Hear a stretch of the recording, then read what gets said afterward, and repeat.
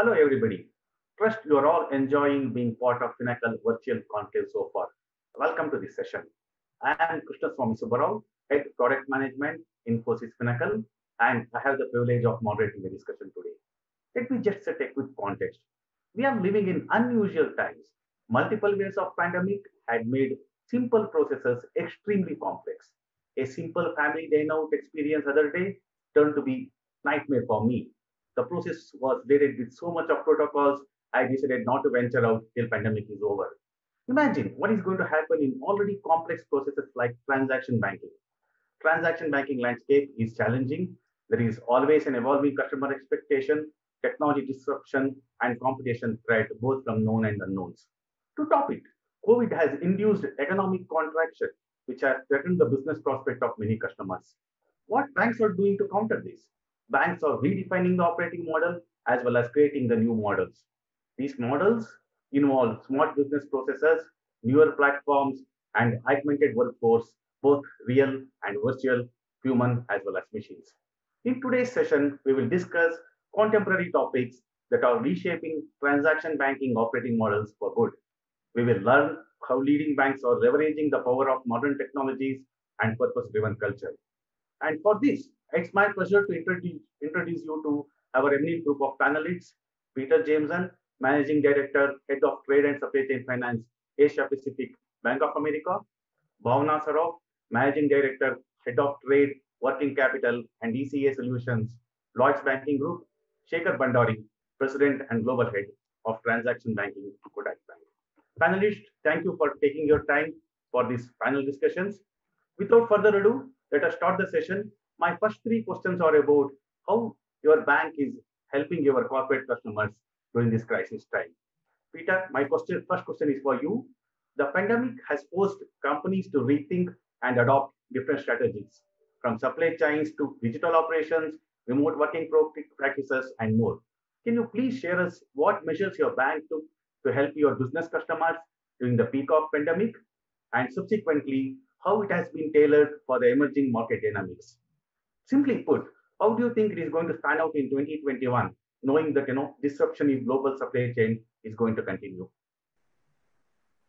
Yeah, no, thank you for the opportunity to share some thoughts with you. I think the overriding priority as we have adapted has been to enable our clients to operate whilst keeping their teams safe. And I think it's fair to say that that was the, the, the overarching uh, priority. Um, as I look at that, I think I would split it into two main components. First of all, digitization and then flexibility. On digitalization, uh, our focus really was on supporting them to onboard to digital platforms, um, in most cases, existing ones that we already had, uh, but also being flexible around other requirements.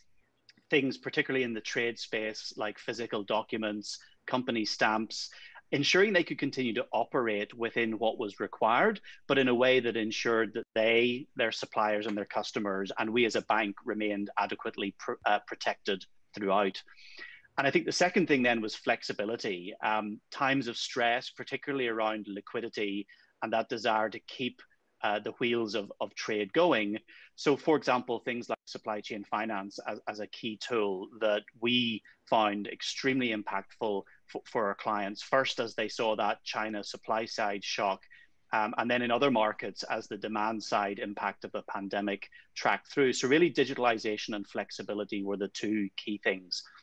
On your question around the emerging market, I think it's fair to say that that uh, many of those markets are less automated and, and more paper based. So to that extent, um, there were perhaps some more short term challenges, but but longer term opportunity from from digitalizing some of that. Um, one of the key areas of focus for us was to see how we could support those processes for clients in the emerging markets in a digital or virtual environment, while still making sure that everybody could comply with with regulatory expectations. And then finally, on your point about how that might pan out this year, I think 2020 was very much a year for immediate and contingency solutions. I think as we move through 2021, I expect to see clients look to embed some of those learnings more in their core processes. I think we'll see a lot more openness this year to the adoption of digital channels. Um, and whilst most of our clients use them already, there have still been some historical pockets of, of resistance. And the pandemic has reinforced the importance of these for ensuring business continuity. Thank you. Thank you, Peter, for your clear answer. I think digitization and flexibility are the two mantras which is going to drive the global transaction banking. My next question is for Bhavna. Uh, although we are seeing light at the end of the tunnel, the pandemic is not yet over by any stretch of imagination. The new waves of COVID-19 has disrupted the plans to reopen economy. This has added more pressure on businesses and SMEs. As businesses aim to build resilience, primary focus will be on cash flows, working capital, and risk management. I would like to hear views on what strategies have worked for your bank to help your client, help your customers in such continued difficult times.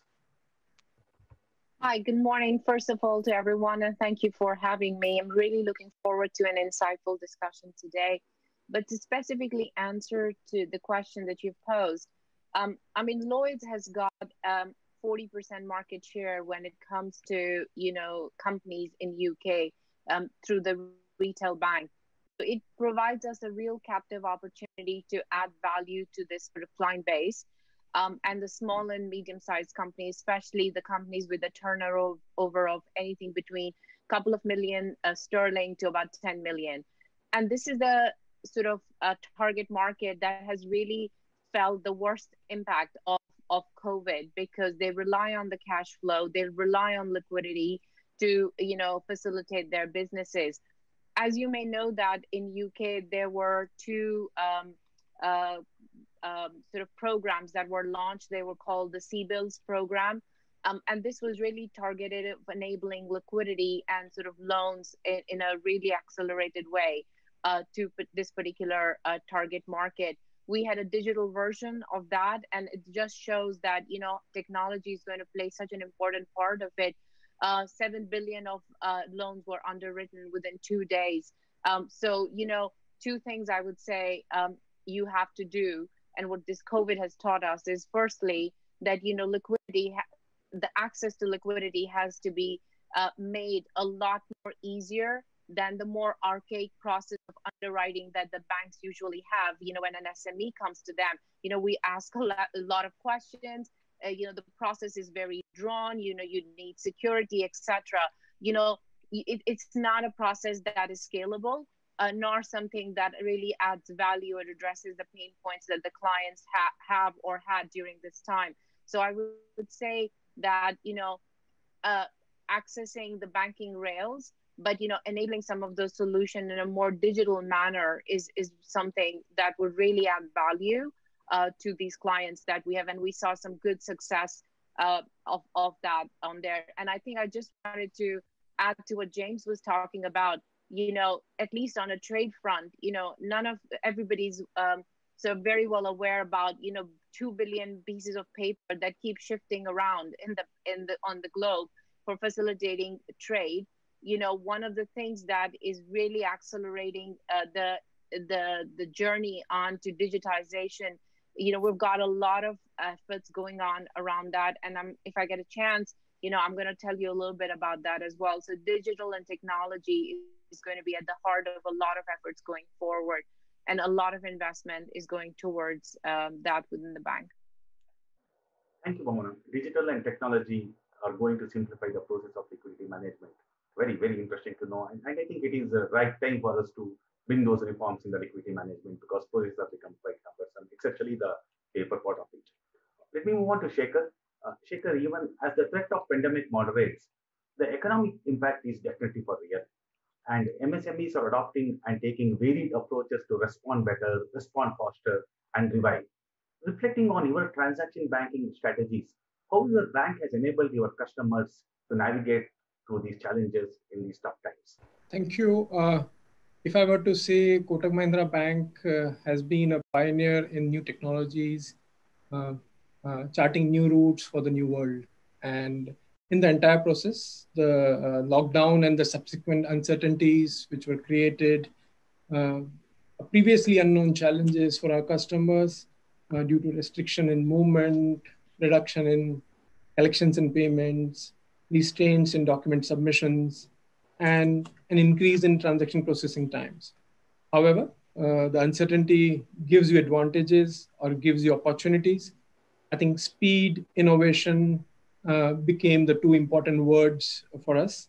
And COVID 19 created a time machine, uh, uh, I think, of a sorts, one which helped us in especially creating three new journeys. I call journey number one uh, the loan journey, where uh, you were able to digitize the entire document of lending uh, vis-a-vis the physical nature which was uh, earlier. Uh, we reduced the 21 day time cycle to on an average one and a half days. for disbursement of MSME loans, which was given by the government during COVID times, you actually adopted an end-to-end paperless digital documentation through e-sign, uh, which helped disbursement without any physical interaction. Um, we were always good with uh, opening new accounts with 811, and when the um, uh, when the video KYC came in, and when the entire country was locked down, uh, not a single employee on the field, um, we did realize that we were opening on an average 14,000 accounts every day. 14,000 accounts getting open every day. Uh, the bank continued to reimagine sales, services, and the processes.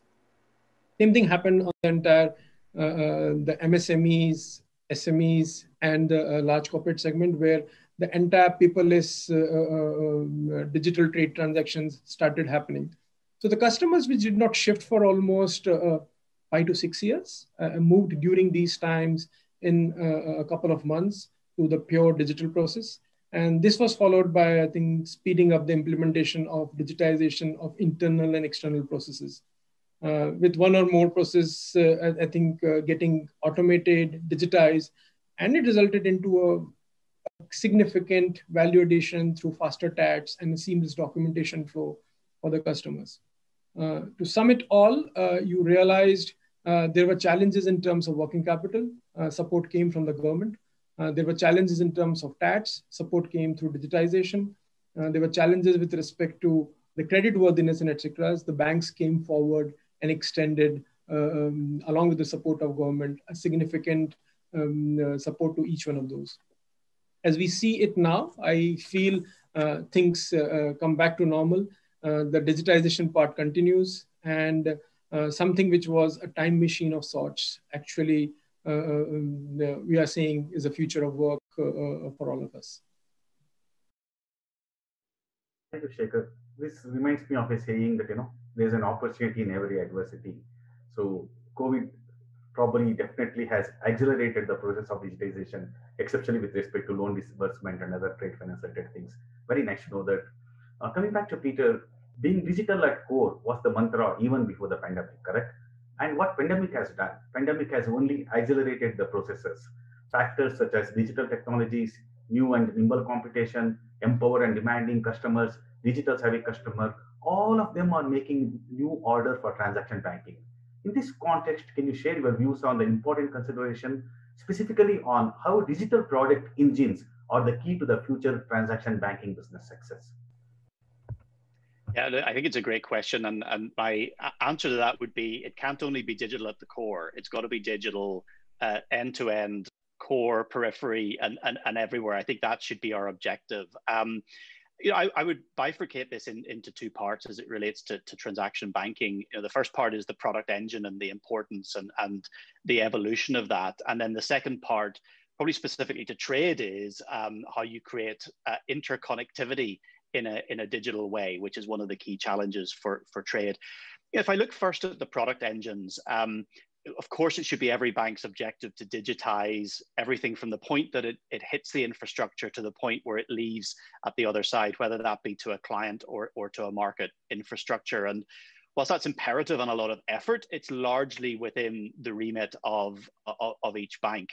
Um, I think the bigger challenge is probably that we're looking uh, at how that operates very differently.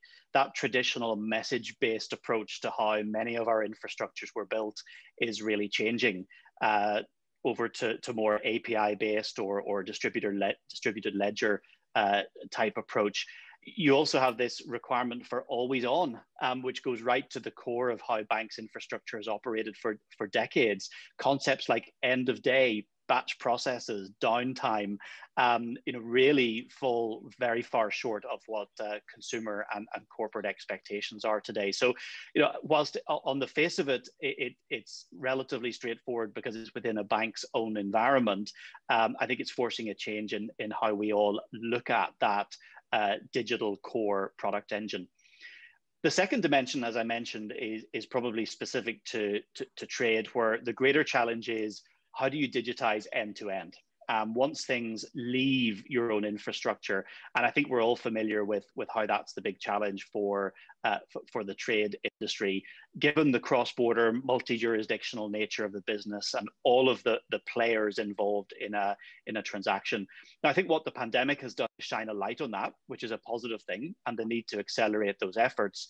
I think the challenge, of course, is is that going to be driven from from top down, or is it going to be a collection of local, regional, or or global efforts that then ultimately get interconnected? Uh, because from my perspective, to create digital end to end, not just within your own infrastructure, uh, comes back to some of those good old fashioned things like standards, common approach, uh, and and creating a network. So I think in summary, of course, digital should be at the core, not just at the core, uh, but I think we should aspire to get it right through each of our uh, infrastructures as well as the industry as a whole. I think the question in the case of trade on that industry piece is not the what, but the how. How do we drive that end-to-end digitization so that we can actually realize the benefits of our digital core? Thank you, Peter. I think that's a, that's a great answer. In fact, digital everywhere or digital anywhere is the important point rather than being digital at the core. Probably that brings me to the next question to Bhavna. As uh, Peter was talking about, uh, while digital at core provides the foundation, I think transaction banking goes beyond that. Banks need to strive for delivering truly digital experiences. Given that two corporate customers don't have similar expectations, what are the strategies? What are the new possibilities? What are the new engagement experiences Lloyds Bank is delivering? Okay, so um, I think uh, we we we are definitely servicing a variety of client base here, and I would principally, just for the sake of answering this question, split them into two categories. So you have um, what we call an SME sector. You know, clients, small small customers, small turnover. You know, their needs are different. They want cash and they want it fast and quick, right? And then you have the sort of multinationals and, and large corporates, you know, multi-billion dollar companies, what they their needs are slightly different. You know, they don't have issues with li- access to liquidity, but what they don't, their pain points lie around multi-bank solutions, right? So, you know, having to log on to, you know, they have bank relationships with, you know, 20, 30 banks it's not possible for them to kind of log on to online portals of each of the banks. So what they are looking for is like a one to many type of aggregator models where they hook into one place and then they get access to a much wider network of uh, of counterparties or, or um, you know solutions through that. So we're kind of addressing it, um, you know, along with like having a two pronged approach on that. Um, so for the SME side of things, it's all about, you know, like I mentioned before, you know, bringing about that sort of ease and access to liquidity, you know, bringing using digital rails to be able to enable that. And we have very, uh, we've looked at our um, solutions and sort of the journey, the word journey was used before. And, and I think um, what we have done is that we have co-created some of these opportunities and these uh, these sort of solutions for our clients we're no longer like looking at we have to solve for everything or we have to find answers to everything we kind of create uh, you know workshops with our clients and and create solutions that you know have um, you know the real direct input from our clients so that we make sure that the solutions we bring about you know uh, there's a surety that they will meet the the needs of it. The other thing what we're doing is that we are we're stopping we we don't feel like all development has to come from within the bank. Bank is a financial institution. It's not a technology company. So we no longer carry the burden of finding the solution the technical solution.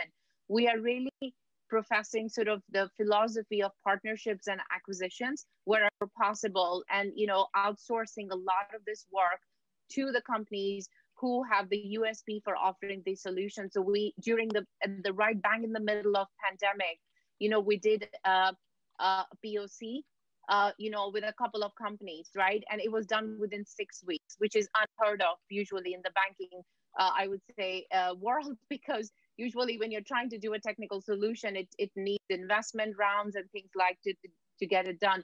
So I think uh, what I would say is that, you know, making sure that, you know, we are keeping clients at the heart of the journey and the solutions that we are creating and then you know putting uh, having a very i would say speedy go to market uh, and not trying to worry about you know what the end state of the solution would be but doing pocs so that we at least know that our efforts are directed you know in, in the right direction is, is important for us. So that's the kind of the story around the sme side of things. But on the similarly on the sort of large corporate, I would say multinational companies, you know, again, you know, looking at, you know, you know, got a lot of blockchain solutions coming out. You've got Komgo, you've got Contour, right? Which one should you be going for? You know, our clients are not, Komgo is just a commodity blockchain, right? It doesn't address the needs of, of some of the other industry uh, clients as well.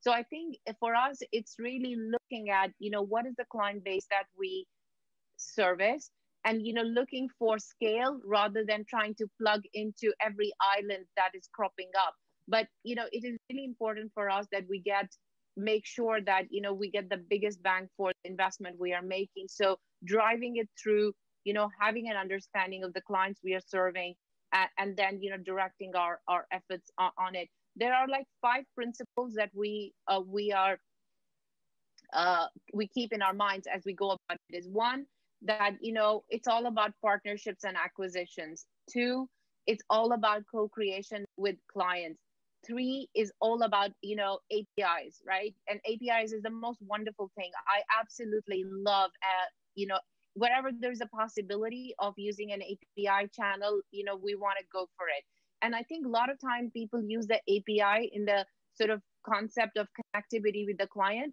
but we're seeing a lot of use of APIs within the bank as well. I think as the information and data gets handed off.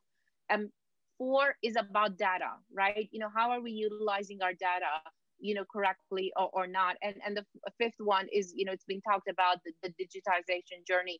So, you know, we keep all these principles in our mind as we go across go through the journey of of our clients uh, you know as we look to kind of address the needs on the journey that our clients are going on so i think that's really what i would say um, is, is keeping us you know on the on the right track thank you Mona, for the clear explanation and also to nice to know that you know there is different different strategies adopted for different customers on one extreme you have sme for asking where is my cash can i get it yesterday on the other extreme you have corporates who are talking about how can you simplify my multi-bank transactional banking processes.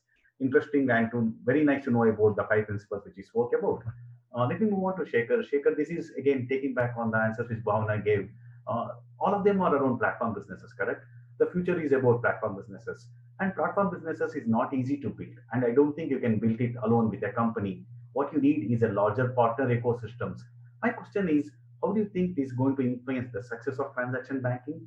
specifically what's your bank what's your approach towards platform based journeys yeah a very interesting uh, question and i think 65% of the total uh, uh, banking industries would be wanting to answer this and address this but uh, transaction banking has been i think ever evolving division and with the current stage being the platformization in addition to digitization and digital products uh, I say I think use the platform thinking not just for technology, but also for transforming the business model. And that's where we are uh, uh, right now. This requires a strong core application uh, equipped with new technologies like uh, artificial intelligence, machine learning, big data. And our aim has always been to provide an integrated trade, cash, loan, FX, liquidity platform, I think, to our customers easy to think, uh, I guess difficult to execute. And that's what I think all our teams come in. And when you have a connected approach, even within the bank, and then you have partners which have to come from outside to make it. Uh, but to reach this aim, I think development have started, and uh, we strongly believe that for individuals, we were able to create, create a platform. Uh, for non-individuals, you need to create a more robust platform with uh, AI, ML, and big data. And uh, if front and backend systems across the product suites are able to talk to each other, you are able to have a great uh, uh, CX layer for the customer, which is what the need for non-individual, so-called SMEs, MSMEs, large corporates, etc., is required. We also have been working with various fintechs to uh, on the new age solutions, um, uh, which also developing an API-based open banking system uh, in order to make us, I think, more agile and modular. But uh, I do understand that this requires uh, what do you have, uh, what do you want to make, and the journey from what you have and where do you want to make is uh, requires a significant amount of work uh, by each one of us. But uh, I'm very happy. I think the way things are evolving and the way the outlook on um, the non-individual side is coming towards the platform thinking. Thank you, thank you, Shekhar. That's very interesting to know that you know how do you move from what you know to what you don't, what you don't know. And again, the platform, what is very interesting, and I'm very glad to know that you know everybody is talking about an API work today. That's very, very good. So let me come back to mm, Peter. Peter, one of the side effects of the pandemic, which is going to stay for long, I think is remote working. I think it is for real. Working for home and working from home, both are going to stay. But I do believe, I think you touched upon initially about that, the regulators in Asia are still insisting on a lot of physical documentation, especially in terms of the trade finance processes how do you think it is important for banks to bring in smart processes which are paperless, have minimum human interactions? And how do you think regulators in Asia will they be more receptive to such electronic documents and fully digitized processes? As a person who drove the digital first operations in transaction banking, what are your views on that? Yeah, I, I think it's critically important for, for banks to continue focusing on building out paperless solutions. You know, they, they say that often the best innovation comes out of out of war, and in some ways we're, we're, we're in a war at the minute against the virus. And I think what that's done is is acted as a catalyst for a trend that was already there. Um, and I, I, think you know it behoves us as an industry to to um, to use that to build on to drive towards this this goal that we already had of, of smart paperless capabilities to, to, to ultimately support our clients. Um, you know, I think there are three dimensions of this for me. The first one is the immediate need. Um, I think it's becoming clear that the pandemic disruption is is going to continue through large parts of of 2021, um, and perhaps even longer, unfortunately, in some markets. So um, there's going to be a need there to continue to look at new ways of of doing things. To go back to that key priority I stated of of uh, keeping clients' business moving whilst keeping their team safe. Um, secondly, as the pandemic subsides, I think we're going to see a lot of these new work practices become the norm, which is a good thing, uh, whether that be flexible working, clients location strategy and the need for teams and businesses to be able to function without access to those usual uh, infrastructure items, whether it be in the case of trade, printers, copiers, postal infrastructure. Um, so this will become a more permanent fixture. And as such, we can't stop here. We have to keep developing those capabilities and, and adapting to that new need. And then thirdly, and, and, and finally, I think the pandemic has raised another operational risk scenario. So regardless of future work posture and hopefully we, we will get through this pandemic situation, I think companies will look increasingly at fully digital capabilities as a way of shielding themselves from future disruption, whatever that disruption might be, pandemic or, or, or something else. Um, on the point about the regulators, I think the simple answer is, is yes. We are seeing a lot of focus from regulators in Asia um, around this. Um, I, every market and jurisdiction has their own uh, practices, rules, regulations. Uh, the pandemic has certainly put many of those um, under the spotlight. There are a lot of Asian markets where governments have been heavily invested in, in digitalizing the economy already. I think this will provide a boost for them and, and also a vindication of their strategy. There are other jurisdictions where, where governments perhaps haven't been as active, and I think they will now recognize that this is an opportunity to relook at some of those uh, processes, whether it be requirements for, for stamps or, or physical paper, physical signature, and those sorts of things. And I think we will see, and we are seeing increased openness uh, to look at the legal, regulatory, and practical barriers. Um, of course, the, the, the, challenge for trade is the degree to which countries adopt similar or consistent practices in a digitized world, because with our cross border business, of course, that can multiply up the variables. But my hope is that the less sophisticated markets will look to the more sophisticated ones and, and seek to adopt some of those practices. So that in turn should create some, some harmony, which in turn, of course, will enable us as banks to continue building on, on these capabilities well into the future. Thank you, Peter. It's nice to know that you know, regulators are finally taking cognizance of these facts. Uh, let me do small click Rather than asking Bhavna, I will go to Shekhar for next question to show that you know we are all agile. Uh, Shekhar, this is again uh, talking about uh, inter organization automation using blockchain, and and I think uh, both Bhavna and Peter did it earlier. The distributed ledger technologies are very much important to take forward the platform strategy.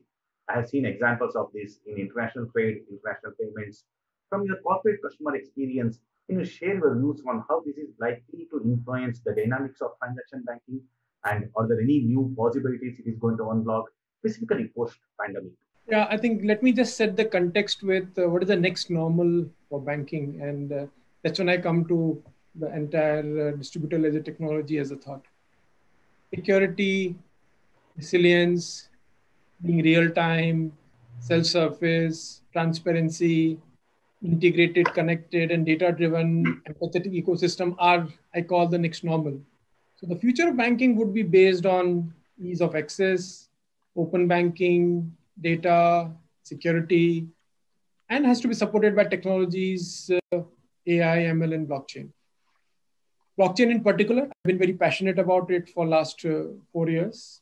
And uh, what has happened during uh, last eight months have been uh, make, I think, to expedite the entire piece probably by four, four to five years and to prepone the entire piece to make it drawing the attention of all the major banks across the globe and including us in order to create an enhanced customer experience.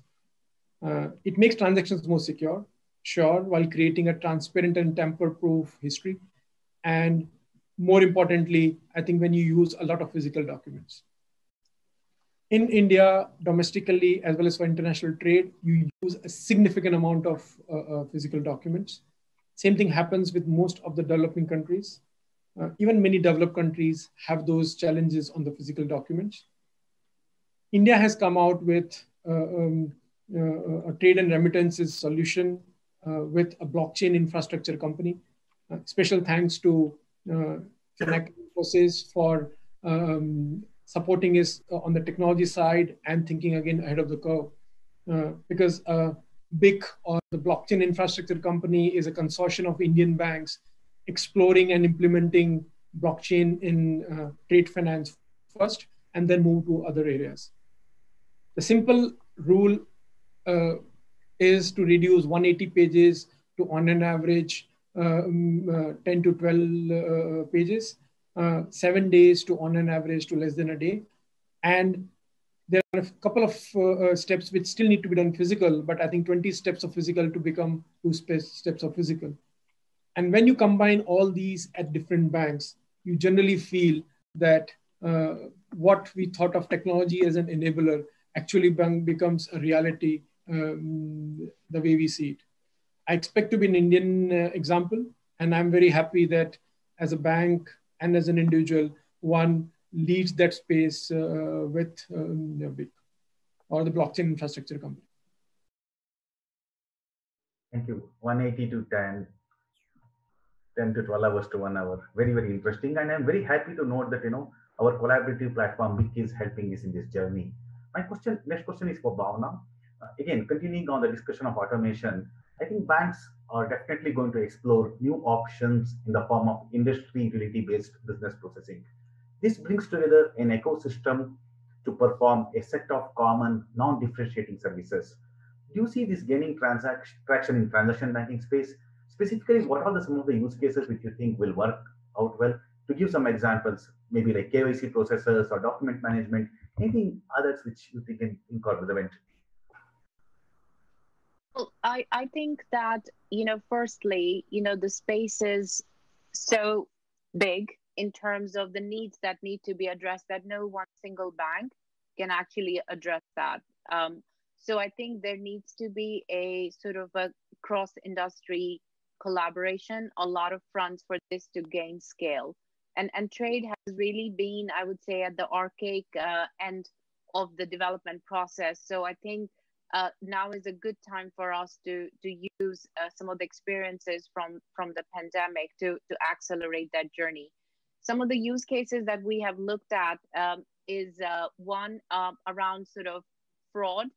Uh, so you know there's a lot of fraud associated with with trade documentation. It's because it's related to paper.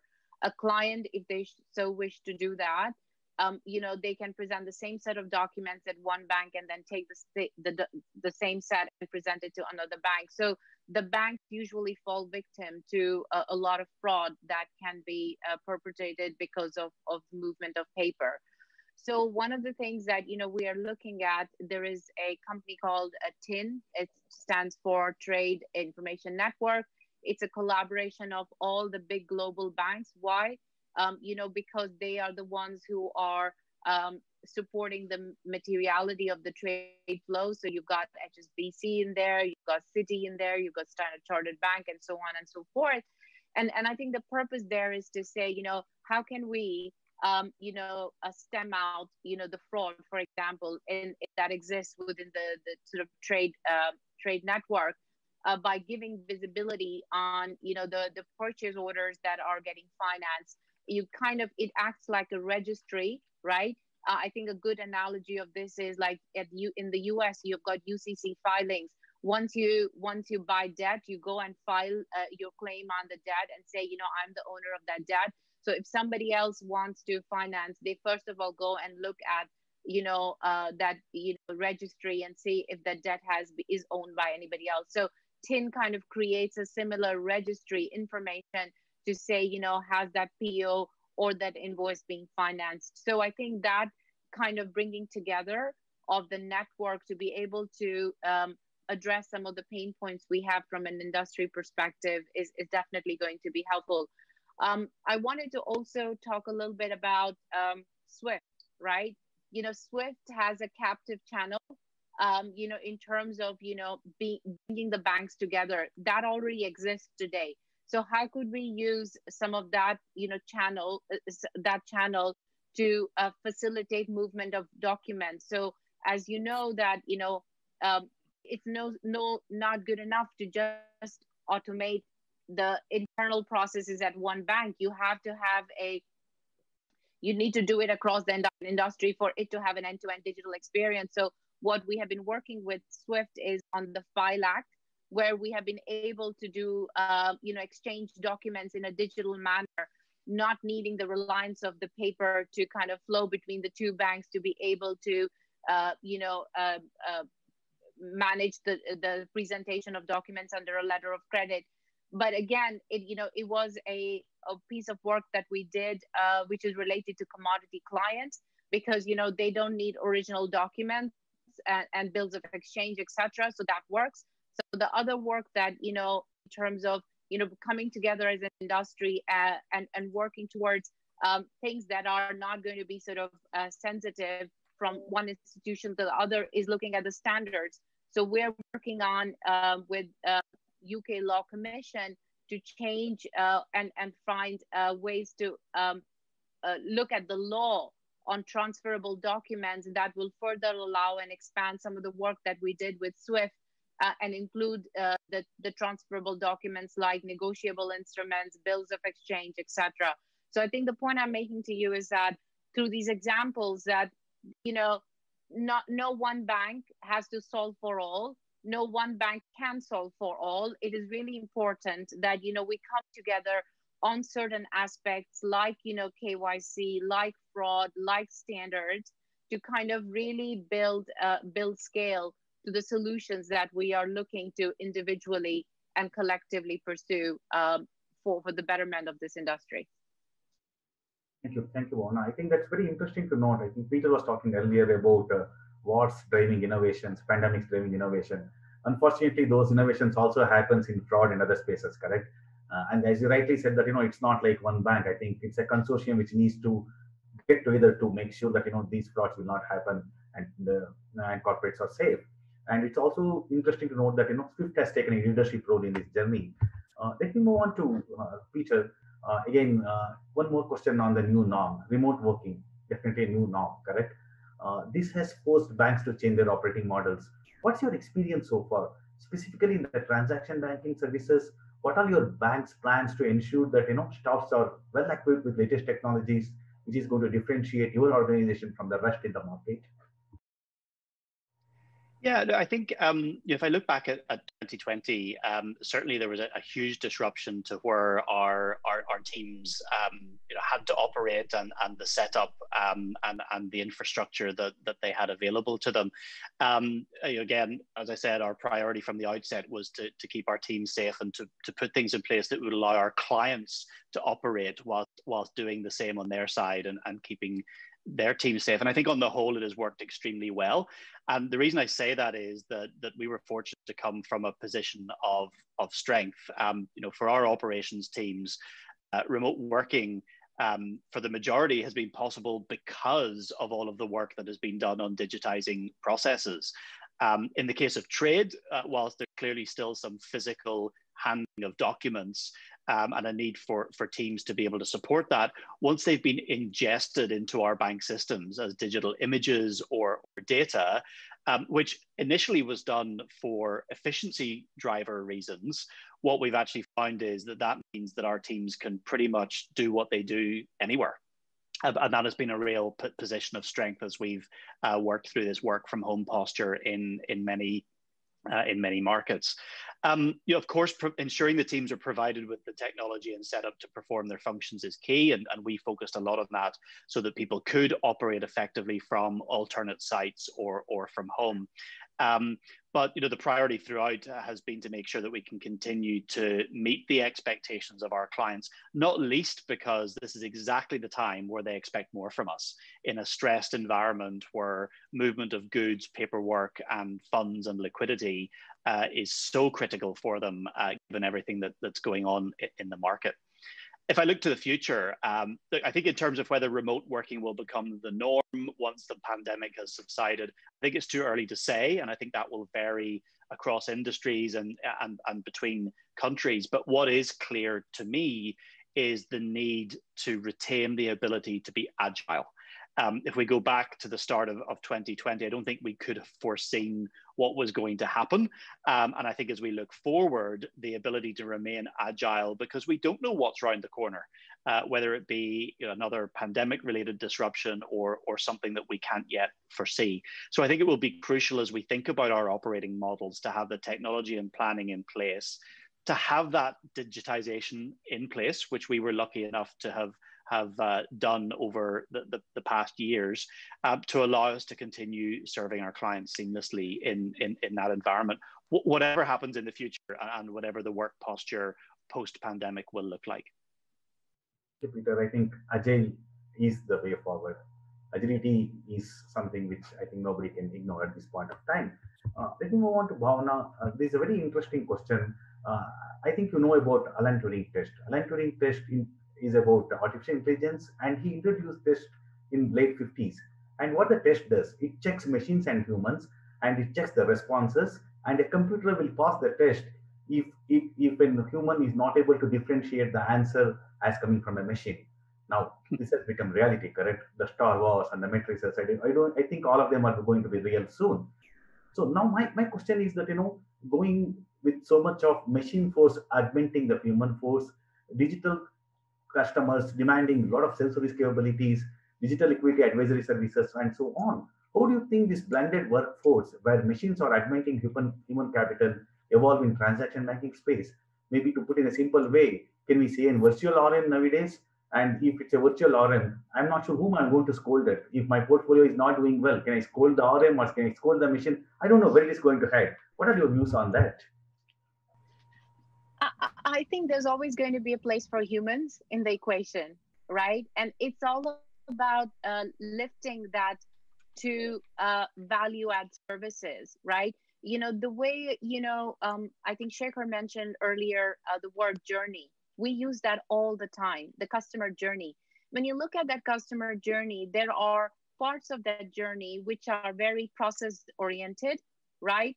I think when you look at those journeys, it's important to say, okay, what a part of that journey can be outsourced to a machine, right? Because that's a repetitive task that can easily be done. And it's actually more efficient to do it, right? You know, if a client is looking for simply um, understanding where is my transaction, right? I mean, if you look at some of the things that during pandemic where we had a spike of inquiries, those inquiries were simply I want to know where's my transaction, right? Just like similar to like when you send a parcel into um, you know, to a tracking system, all you need to do is enter your reference and tell you where your transaction is. So all that our client wanted to do was you know what is the transaction, where is the transaction. So normally, how would they do it today?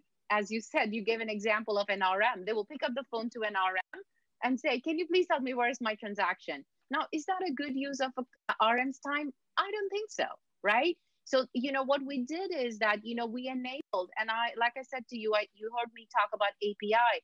And, and to James's point, you know, as, as we sort of automate the underlying workflow and our processes, that will allow us to bring some of those, you know, uh, benefits of that to our clients. So, you know, that we created a trade tracker and all that it did does is that uh, you input the transaction reference and you know you will know exactly where your transaction is. So i think um, the, the point here i'm making is that you know there's always a place for humans but there's definitely a lot that machines can help expedite that journey for our client's decision. Because like i said to you what do clients want? They, they want the money at least on the smaller end of the smes and msmes right? They want it fast and quick so if they can actually uh, reduce that journey from having to call somebody, you know, being being successful or not in able to connect with that, to just simply typing a, a reference and knowing where the transaction is. I mean, to me, that's a better outcome for it. And you know, like I said, you know, we talk to our clients, and that's what we get told. You know, that you know they're they're looking for uh, a better user experience as well. So I feel like there's going to be a place for both but I think uh, human intervention has to be elevated to more value add, risk based advisory sort of role versus, you know, doing the more repetitive, mechanical uh, work. And, and, you know, we are doing, we're taking great strides in, in Lloyds in looking, for example, our sanctions journey, right? You know, we, we collect a lot of data. We've got a lot of documents coming in. You know, why doesn't uh, a human, you need a human being to be able to say, yes, we can do this transaction or it's a sanctions hit, yes or no, right? So I think, you know, like I'm saying, is that there is going to be a place for humans, but, you know, it'll be more on IP based advisory, risk based decisions more than, you know, you know uh, the, the mechanical and the more process driven side of things. And I think I, I firmly believe that, you know, we, we have to use AI, we have to use technology, we have to use digitization to to kind of automate that that aspect of the journey. Thank you, Juan. I think that's a that's a great answer. You clearly told me that you know don't don't ask your RM about where is your transaction. Ask an Alexa where is my transaction. Ask RM for more value added things. That's a great answer. Coming back to the last question of this session, this is for Shekhar Uh, and this is about one of the topics which we discussed a lot: APIs. APIs were existing even during days of mainframe and many mini frames. In fact, I have used APIs long, long ago. But what has become more relevant today with respect to open banking is that you know APIs are becoming irreplaceable. And also, we know banks are setting up API gateways to help clients to get an easy and quick access to their information and enable to perform transactions real time. I think it's going to be API word soon. So, can you tell me about unique possibilities on API and how your bank is driving innovation on this space and also probably what are the key expectations of the client because everybody talks about apis so uh, if i were to say um, open banking uh, the new buzzwords and the api new buzzwords have been there and have been existing for time. Example we have got 200 plus open banking partnerships uh, at the bank which runs and which meets the expectations of the client. And uh, it helps you to redesign the processes, promoting a more connected financial ecosystem, uh, which we have been emphasizing on. And by leveraging APIs, uh, the platforms and the cloud banks and delivering data centric solutions, uh, you generally believe that I think uh, uh it is a real time access to data and the decision making processes which you help the clients with. It also takes care of a lot of risks which we have been, I think, looking at. We also even, I think, upgrading our API suite. So I think one is API suite, which is available. We think we are ahead of the curve, but you still uh, think, given the client expectations um, uh, now, that you need to continuously upgrade it so that uh, even if you have got 200 uh, plus uh, open banking partnerships, 170 odd APIs customers, I think, which people use, you still will provide easy and universal access to most of the products, I think, across the entire piece. But uh, you have to take care of privacy and security as a very important part when we develop uh, that piece our API suite, uh, which the customer's expectations have been uh, have been around account services. I call balances, um, status. Uh, Bhavna very well covered. I think status of transaction, what my RM is doing, what can I do. Uh, the payments and collections, uh, which is transaction transaction approval. Um, uh, does it can it happen 24 by 7 rather than being limited only to the office hours when the um, teams are there? Um, on the trade side, I think to have a few guarantee text and etc. I think if they want to even refer uh, MISs and etc. which they want to have or the reports uh, in order to just help them to manage the working capital uh, a bit better, a bit smarter. And with the aim of that, I think you want to create more value and convenience uh, for the customers. Uh, the data sharing part becomes, I think, very critical in the uh, entire ecosystem. And uh, banks need to build, I think, connected, uh, even connectivity options called APIs uh, to cater to, I think, these needs. This is their own customer data, not I think you're taking it from someone else, but you do we realize that when you have an exchanging data from the ERP or a finance system of the customer and account receivables, I think on the both the sides, you do uh, realize that uh, you have to take care of uh, the entire part on security as well, besides meeting what customers want. But to sum up uh, all, I guess uh, uh, the open banking, the API infra is actually helping to redesign, I think, the processes and promoting the more connected financial ecosystem. I think a quick time check. I think we have time for only one audience question. A lot of questions about fraud, API. There's one very interesting question.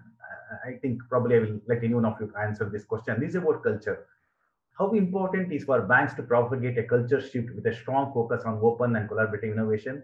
Is it the time for a culture reset in the banks? Any thoughts? Very, very, very important. I, I think you hit the nail. Um, I call the culture of uh, uh, thought, culture of trust, uh, honesty, integrity, and all become very, very important even if we digitize the entire world. Um, if you remember, I told something on the COVID-19 is creating a time machine and, uh, and one that is uh, taking um, uh, companies into the future of work. But uh, besides being agile, besides being adaptable, and besides being, I think, able to uh, prioritize, I think, what has to be done, you do require uh, Uh, the thought, uh, the culture, and it starts from the top. Uh, and I expect, I think, CEO to be thinking digital I expect uh, them to be understanding each of those risks and uh, each of the employee which is doing on the ground, which he thinks that he has just approved a transaction or uh, a particular piece of data, how that data put together becomes a good information, how that information actually becomes a valuable uh, requirement for the customer to meet his working capital requirement smarter and in a better manner is where I think the culture part uh, comes in. Uh, at the institution, I think culture has been a thought uh, right from day one. I will say the same thing uh, with Infosys. I think start from Mr. Narayan Murthy and the way he had the culture part got in, agility got in, and and that's where I think the organizations move forward. That's, that's a great answer. Uh, which is quite close to my heart because I grew up in the culture of Infosys. I think with this, uh, we have come to end off a very great discussion. Big thank to all of you. We are very grateful for your time and valuable insights. And thank you all the attendees for making time to attend. I do hope the session was useful and there was much you could take away from the discussion. Do feel free to come back and view the recording. Look out for the follow-up email from my team with a video link. Feel free to share the same with your colleagues as well. I hope you all stay tuned for Finacle Conclave and enjoy the high quality speakers and discussions lined up for you. Thank you all. Good day and stay safe. Thank you.